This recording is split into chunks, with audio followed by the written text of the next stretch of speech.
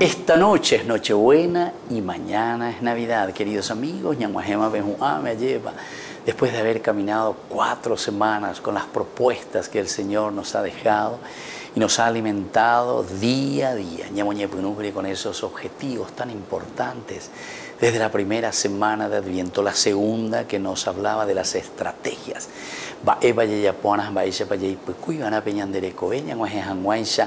a la Navidad la tercera semana del Gaudete, de la alegría. Nos presentaban las lecturas y la palabra de Dios. Lo que va a suceder es alegría.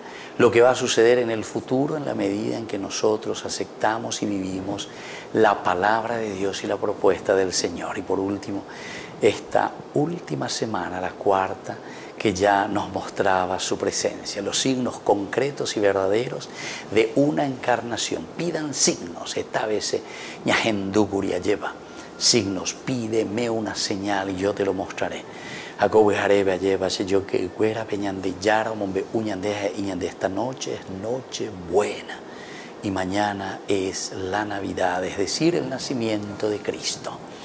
Nosotros escuchamos en esta primera lectura del libro de Samuel, cuando David se estableció en su casa y el Señor le dio paz, liberándolo de todos sus enemigos de alrededor, el rey dijo a Natán, mira, yo habito en una casa de cedro, mientras el arca de Dios está en una tienda de campaña. Natán dijo al rey, ve a hacer todo lo que tienes pensado, porque el Señor está contigo.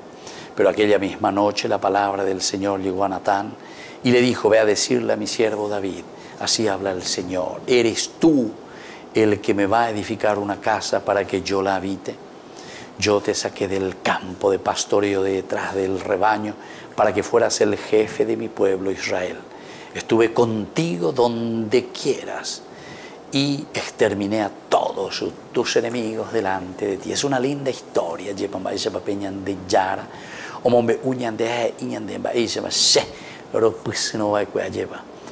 ro pe pemba e posipo ro pe en boriahu etawi y ahora sin embargo que te he ensalzado querido hermano querido amigo querido cristiano que estás en el camino y el seguimiento de Cristo el Señor nos vuelve a decir hay que construir esa casa pero la casa es del corazón. No te preocupes en todo caso tu hijo en el futuro hará esa casa que yo necesito para habitar. Pero ahora, David, lo importante es que tú prepares el corazón. He ñande ñande yara ñande